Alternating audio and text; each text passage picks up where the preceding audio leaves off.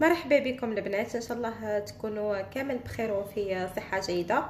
آه، اليوم إن شاء الله راح نحضروا من أكثر الوصفات المطلوبة.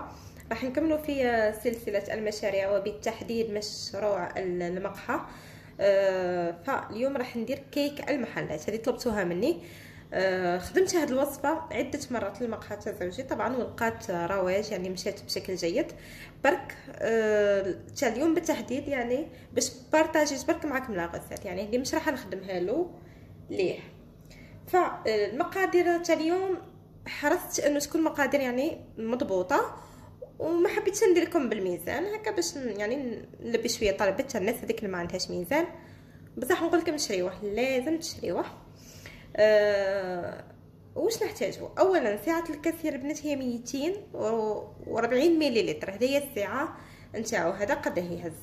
نحتاجو منه كاس إلا ربع نتاع السكر أنا ما نديروش حلو بزاف هكا راح يجي معتدل الحلاوه يجي مليح برك. نص كاس نتاع حليب وهنايا نص كاس نتاع زيت صونغو و أصلا صونغو مش راح نديرو بزيت الزيتونه وهنايا عندي مبدئيا زوج كيسان نتاع فارينة. آه على كل حال فارينة دوك نشوفوا parce que ça dépend ça dépend درجة الامتصاص نتاعها للسوائل. آه هنا عندي ملعقة تاع عصير الليمون اللي تقدروا تعوضوها بملعقة تاع خل أبيض. عندي مبشور نتاع ليمونة وعندي ملعقة صغيرة معمره نتاع لافاني. اذا الفور حطيته يسخن على 160 درجة والمول تاع الكيك ها هو. دهنته بالزبدة وغبرته بالفرينة. دوك نقيسه لكم. وأهم حاجة نسيتها في المقادير اللي هي ربعة بيضات والبيض يكون بدرجة حرارة الغرفة. إذا نروح لطريقة التحضير. إذا في الوعاء نحط البيض. البنات مع الفرينة راني درت كيس تاع خميرة الحلوى وزن عشرة غرام. من بعد نكتب لكم المقادير. لأني ما خليتوش في الكيس نتاعو على بها نسيت باش نذكرو هو راهو مع الفارينة.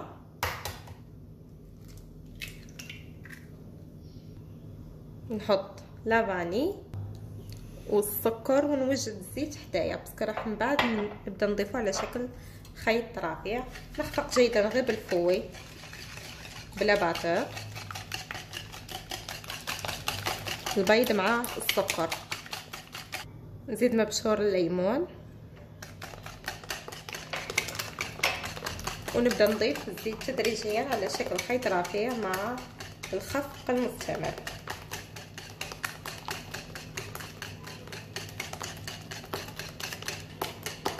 نضيف الحليب.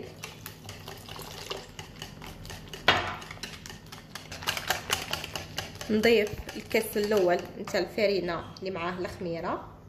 هذا نضيفوه كامل. أما الثاني فهو اللي نضيفوه بالتدريج. ونخلط بهذا الشكل غير بالعقل.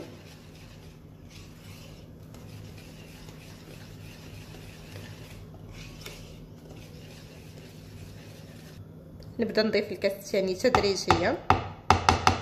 ودوك نقول لكم كامل ولا لا.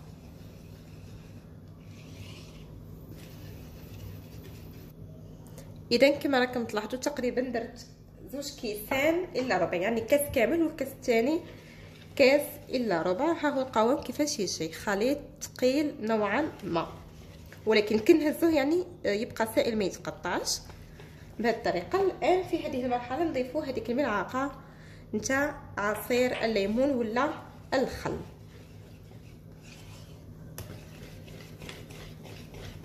بهذه الطريقة.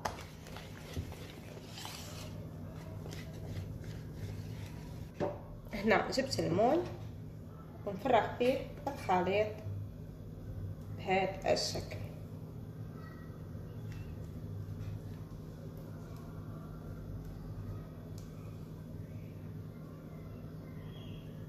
فرغوا كامل.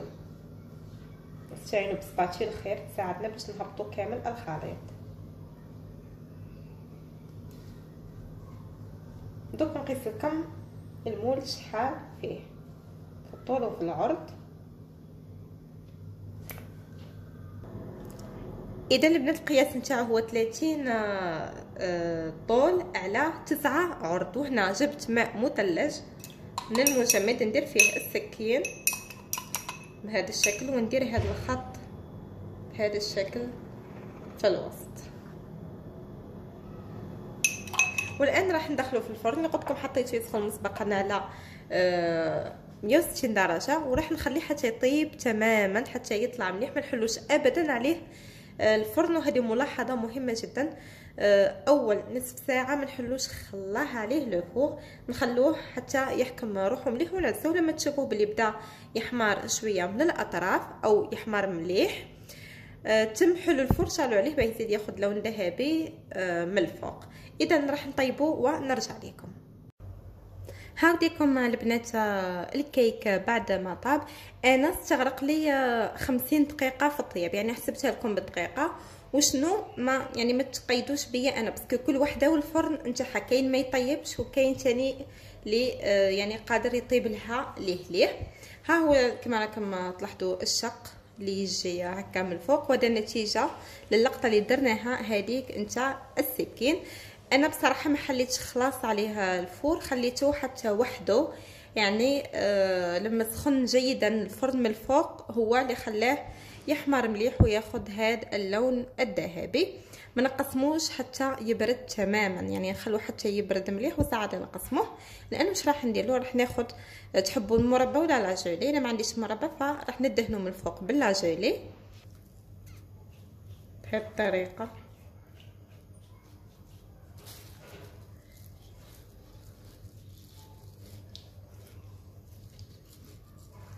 تزيين زينو كيما حبيتو إذا حبيتوها عالي على هك زيدوا البيض. وطبعا كي البيض لازم نزيدوا كذلك الخميره وديما نقول لكم بلي البيض لازم يكون بدرجة حرارة الغرفة. لازم ما ديروش البيض وهو بارد. هذه من الأسباب اللي تخليه يهبط في الفرن. كما راكم تلاحظوا نزين فيه. باللوز ايبيلي محمر ولا تحبوا بالكاوكاو؟ إذا مش عندكم.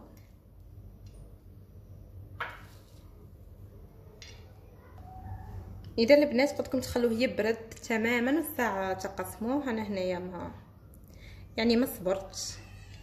وهنا كي تقسموه تقسموه بالموس نتاع المنشار.